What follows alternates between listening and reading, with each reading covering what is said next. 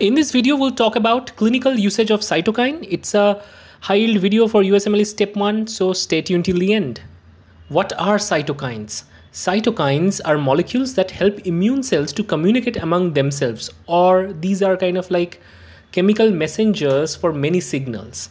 Many immune cells like neutrophil, macrophages, etc. secrete cytokines and they has wide variety of role in context of immune system. You can click on the video on the I button to know more about cytokines and their types. But right now we are going to focus on how these cytokines can actually be targeted or used in terms of clinical uh, perspective. So cytokine has different families. Among them the most important families are interleukin family, hematopoietin family, interferon family, tumor necrosis factor family, interleukin 17 family and the chemokine family. So first we'll talk about erythropoietin, then we'll talk about thrombopoietin, and lastly we'll talk about colony stimulation factor. These three cytokines are very important when it comes to clinical usage. So all of these cytokines are somehow affect, uh, uh, kind of like affecting the bone marrow. So it's kind of like a bone marrow stimulating factor and that basically triggers several kind of uh, blood related it, it is used to like treat some blood related issues. So for example, it is used to treat anemia, thrombocytopenia, leukopenia. In a moment, it would be detailed and clear to you. So first, let's talk about erythropoietin. So basically, erythropoietin is secreted normally by liver or kidney. And this erythropoietin act on the bone marrow stem cells and help in erythropoiesis. Erythropoiesis means the process by which pro-erythroblast gets converted into erythrocyte. So obviously in this overall process erythropoietin is a crucial factor.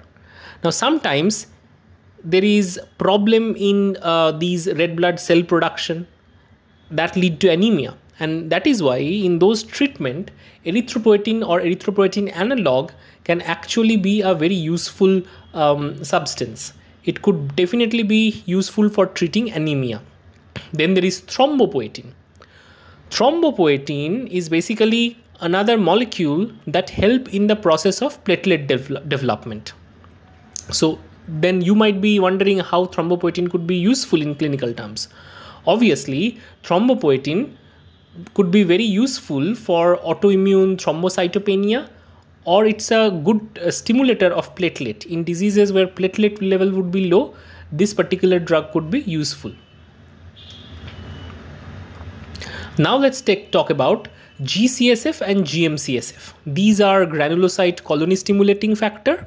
So there are two particular names which is filgrastim and sa sargramostim difficult name but anyway these two cytokines belong to hematopoietin uh, family and they help in uh, formation of several cell types. So basically from multipotent stem cell, there are common myeloid progenitor, there are committed precursor cells, eventually it give rise to granulocyte precursor.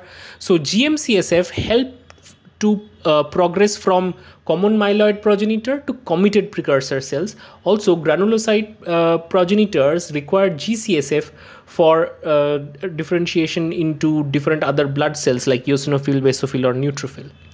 So obviously MCSF is another molecule which is helpful in monocyte progenitor differentiation. So all these particular molecules are useful in uh, kind of like differentiation of leukocytes. So obviously when there is leukocytopenia, then in that case or uh, pancytopenia, in that case these molecules can be used. So anyway, next we'll talk about some interferons. So before that we'll talk about um, aldesclu- aldesleukin, which is basically interleukin 2. So interleukin 2 is used greatly in context of renal cell carcinoma and metastatic melanoma.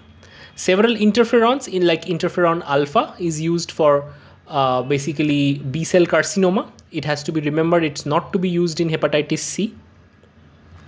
Interferon beta is used in treatment of multiple sclerosis. Interferon gamma which is used in uh, case of basically gra chronic granulomatous disease or CGD. If you want to know about any of these disease, you can get the link in the i button. So I hope this video was quick and informative. If you like this video, give it a quick thumbs up. Don't forget to like, share and subscribe. See you in next video.